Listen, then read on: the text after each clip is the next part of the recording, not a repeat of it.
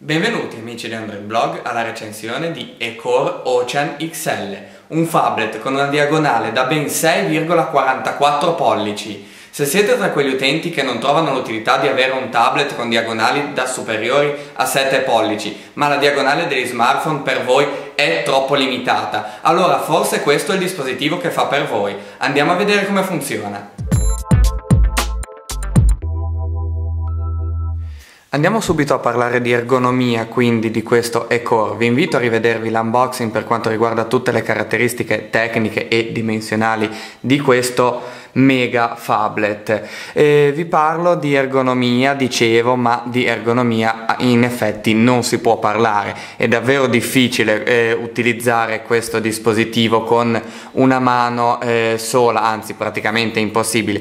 Addirittura anche quando si tiene all'orecchio per, per telefonare diventa difficile usarlo con due mani e si deve tenere con due mani soprattutto in caso di mani particolarmente piccole, penso a una ragazza ad esempio esempio e mm, questo è oltre che scomodo anche se vogliamo un pochettino ridicolo ma insomma questa è una mm, cosa che chi compra un simile prodotto deve eh, tenere conto. Un'altra cosa per quanto riguarda la scomodità, vi parlo dei tasti qua sotto che non sono retroilluminati, sono ben visibili di giorno grazie alla cromatura, ma di notte si fa un po' fatica, insomma bisogna sapere a memoria dove eh, si eh, trovano i vari tasti e cambiando spesso telefono come nel mio caso diventa un pochettino problematico. Vi parlo invece di batteria, questo è, ve- è un vero punto forte di questo dispositivo perché eh, la batteria da 3500 mAh, ricordiamo,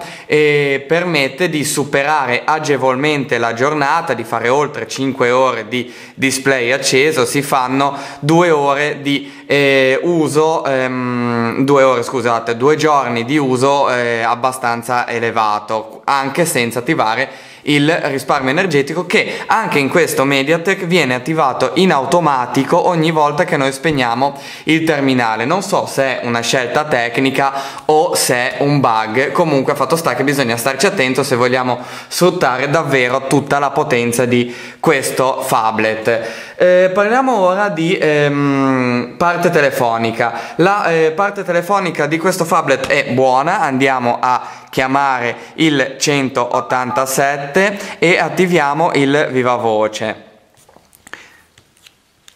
Ecco fatto, alziamo il volume.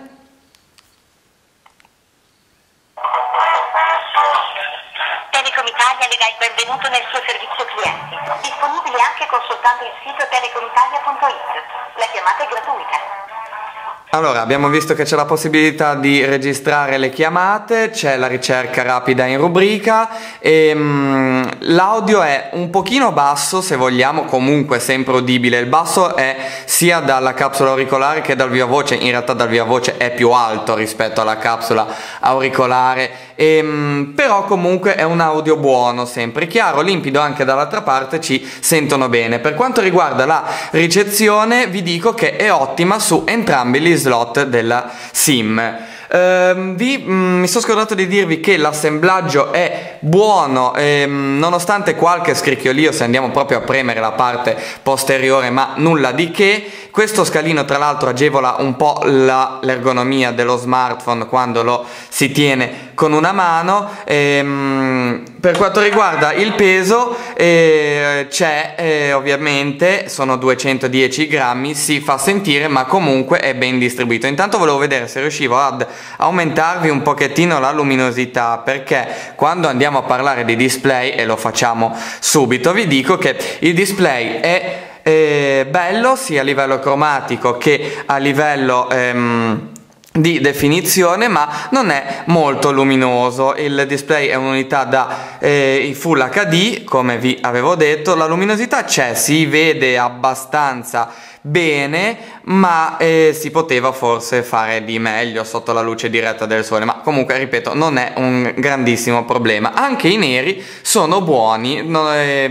il sensore di luminosità funziona bene per quanto riguarda eh, l'adattamento alla luce ehm, diurna Uh, parliamo ora dopo le chiamate e il display, parliamo di sms, la gestione sms è eh, ottima come in tutti i Mediatek con la possibilità qua di predefinire una sim oppure di far richiedere sempre, ecco però state vedendo che non ho la tastiera stock che vi vado a rimettere, e qui la tastiera standard di Android, ecco qualche problema lo abbiamo trovato nella scrittura dei messaggi, proviamo a scrivere una frase di esempio, magari scriviamola nel campo di testo e non su quello del numero.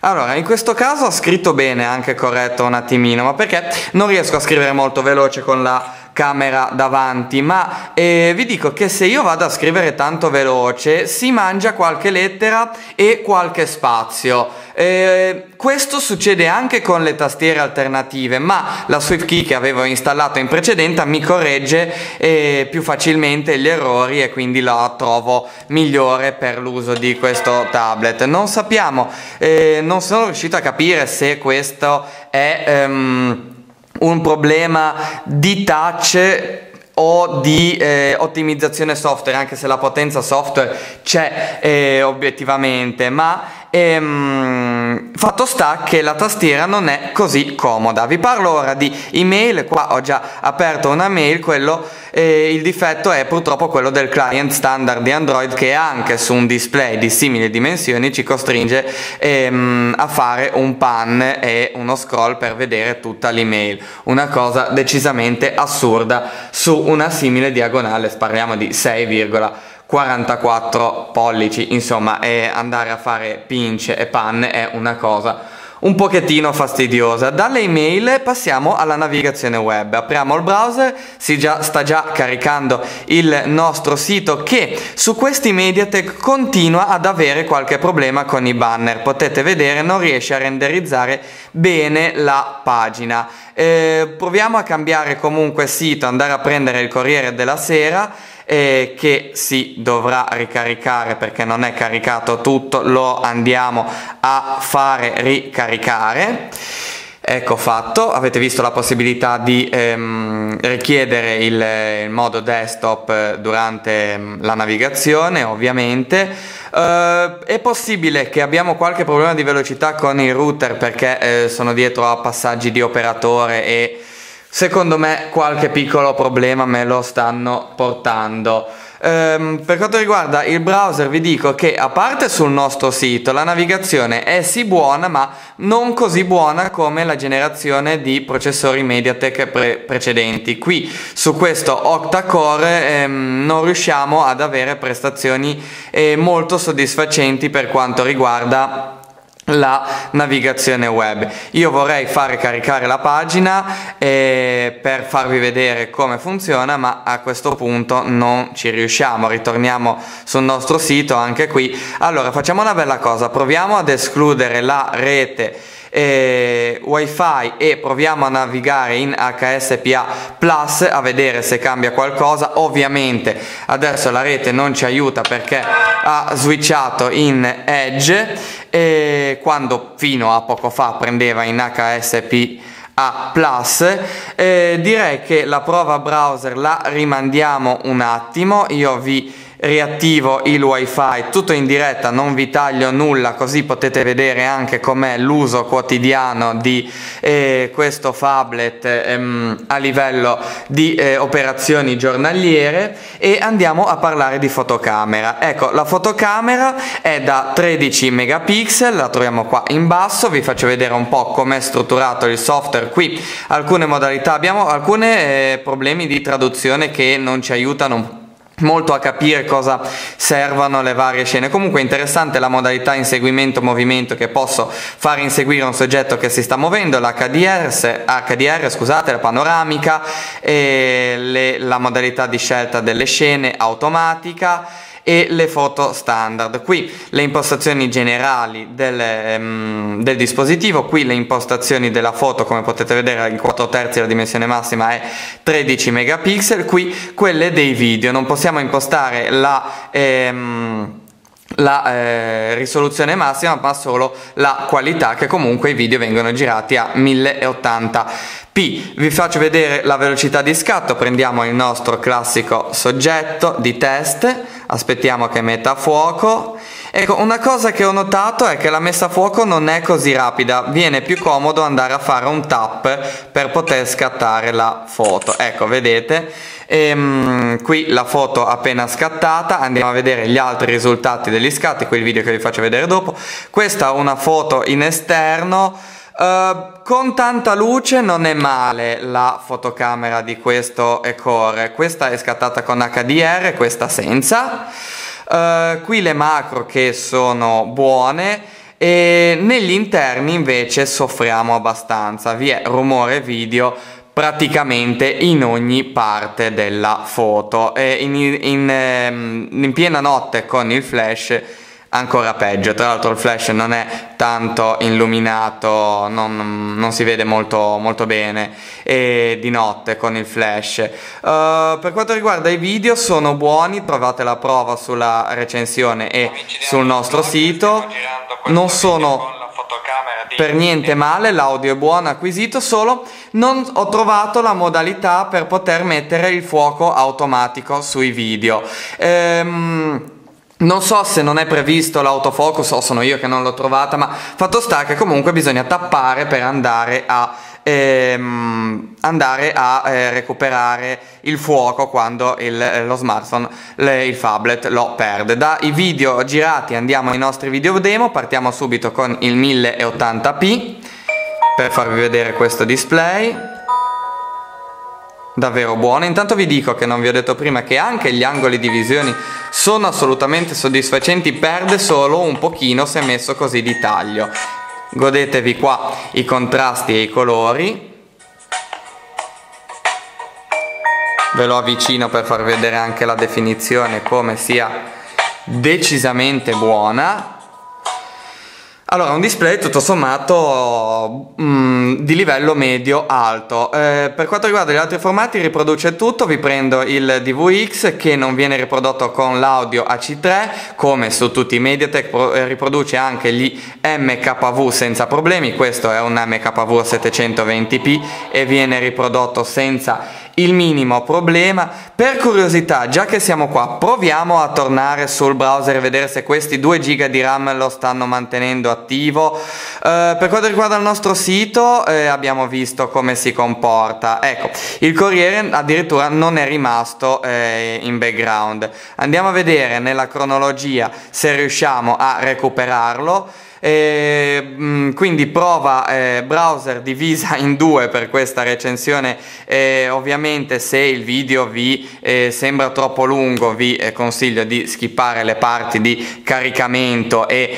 ehm, quelle relative alla prima prova del browser. Uh, sì ha caricato molto meglio rispetto a prima come potete vedere Intanto già in caricamento vi faccio vedere come si comporta la fluidità.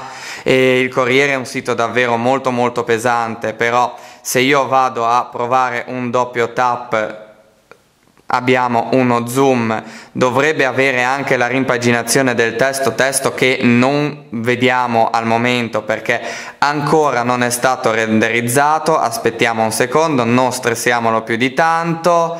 Eh, la ricezione wifi non è tanto buona per il semplice fatto che qui altri dispositivi prendevano molto ve- meglio. Ecco, nonostante sia riuscito a caricare, non abbiamo una renderizzazione completa della pagina. Comunque eh, vi dico che dalle prove precedentemente fatte la navigazione è soddisfacente ma non così buona. Intanto vi mostro il multitasking come è stato implementato, non abbiamo la possibilità di eliminare tutto ehm, con un solo tap ma dobbiamo andare a fare uno slide verso l'altro del multitasking. Uh, per quanto riguarda ehm, la parte gaming ci andiamo subito apriamo il nostro Real Racing.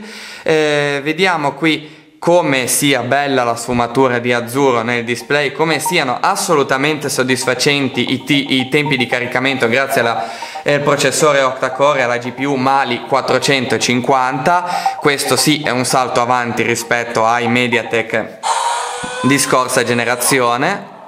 Sentite anche il volume come è più potente nella parte multimediale piuttosto che nel viva voce. Specchietti attivi ovviamente aspettiamo di partire.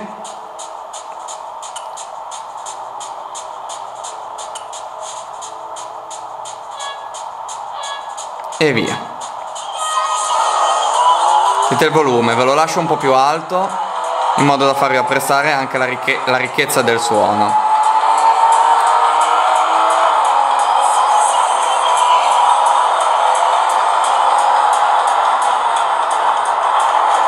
assolutamente nessun problema di sorta nei giochi. E poi giocare su questa diagonale ecco è davvero buono così come lo era vedere i, mm, i contenuti multimediali parlo dei filmati di test su una simile diagonale da davvero soddisfazione. Andiamo ora a vedere un po' di personalizzazioni software. Innanzitutto vi faccio vedere qua dal drawer come, dal drawer come vi sia la possibilità di cambiare i temi del dispositivo così temi che non vanno a cambiare solo eh, le icone e mm, eh, il drawer e comunque la home, ma vanno a cambiare tutto il dispositivo, compreso lo stile della status bar, compreso lo stile delle impostazioni di sistema che prima non vi ho fatto vedere, ma erano quelle standard di Android. Possiamo lasciare anche queste per vedere un po' di differenze con il modello eh, con il tema base. Qui la versione di Android 4.2 Punto 2, eh, speriamo in futuri aggiornamenti, purtroppo tutti i Mediatek sono fermi a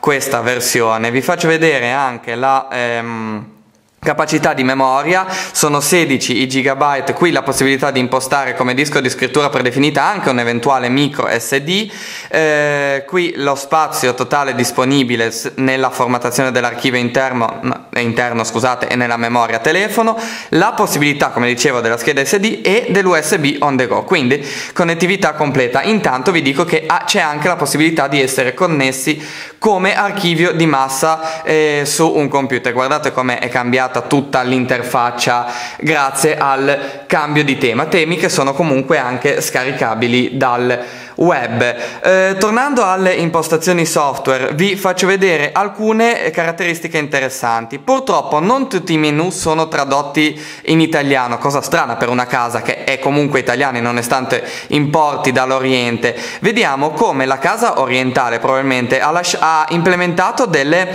eh, feature eh, ulteriori che però eh, sono rimaste tradotte in inglese. Qui i gesti da fare tramite sensore senza toccare con la mano eh, il display, un'altra implementazione è lo Smart Wake, tutti i modi per sbloccare il display. Io ho attivato ad esempio il doppio clic per lo sblocco e un eh, una C per aprire direttamente la fotocamera. Ve lo faccio vedere subito, blocchiamo il dispositivo, eh, doppio tap per sbloccarlo, riblocchiamo e se io vado a tracciare una C sul display mi parte direttamente la fotocamera. Vi faccio vedere un altro menu interessante, quello che qui lo troviamo sotto sicurezza. Oltre alle classiche impostazioni di sicurezza, possiamo vedere come vi sia la possibilità di richiedere l'accesso super user. Sì, avete capito bene, praticamente il root già fatto solo con un clic. Questa è un'altra impostazione che praticamente ogni applicazione che chiede un permesso ci viene notificata, a volte può ehm, questa che ho scritto app permission e ci accorgiamo delle implementazioni fatte successivamente alla versione stock di Android perché sono in inglese. Ehm, qua l'app permission che praticamente mi notifica ogni volta che un'applicazione mi chiede un permesso particolare, può essere fastidiosa, io l'ho levata. Um, non vi sono impostazioni purtroppo per l'uso con una mano, uh, le icone sono grandi, le scritte sono grandi, sembra un telefono per eh, ipovedenti, non vi, sono, non vi è nessuna particolare cura per eh, lo sfruttamento di questa diagonale, nonostante sia godibile, ripeto, nei contenuti multimediali. È un peccato che non sia stata sfruttata meglio con magari un multi Windows o qualche implementazione che eh, ci, ci, poteva inventare per sfruttare una simile diagonale. Eh, andiamo ora a parlare sempre di multimedialità e passiamo alla musica per sentire come si sente la nostra canzone di teste. Ecco fatto, torniamo indietro.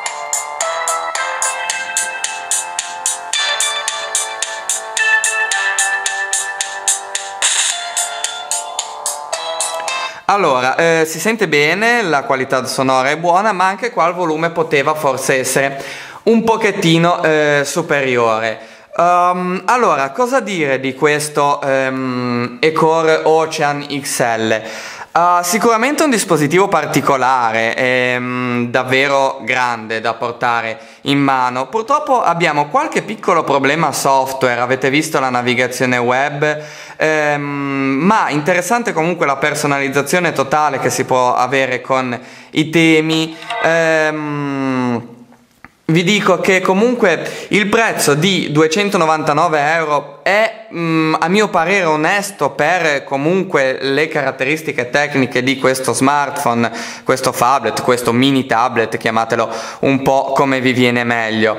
Ehm, l'ottima la durata della batteria, manca un po' di cura dei dettagli. Ehm, io penso che una casa italiana come Ecor, quando importa eh, dal mercato orientale, dovrebbe prendersi un pochino la eh, briga di andare a verificare che tutto sia stato fatto bene viene dalla casa originale e non lasciare magari qualche piccola parte di menu in inglese perché eh, è una cosa che eh, va a far perdere un po' di qualità generale al prodotto. Comunque, un prodotto che eh, sicuramente sarà per una certa tipologia di utilizzatori, ma che nel complesso funziona bene, che ha alcuni lati a favore, come intanto vedete il LED di stato, come la durata della batteria e la godibilità di un simile display, ma anche alcuni a, a favore, come abbiamo visto prima, principalmente nell'ottimizzazione. Magari ulteriori aggiornamenti risolveranno questi piccoli problemi. Per questa recensione è tutto, un saluto da Alessio Cinabro per androidblog.it.